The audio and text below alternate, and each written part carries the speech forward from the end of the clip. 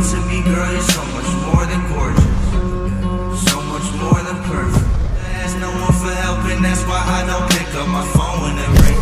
None of my exes is over Lil Peep. Nobody flexing as much as I be. That's why she texts me and tell me she love me. She know that someday I'll be over this. Making my money and smoking my weed. I think it's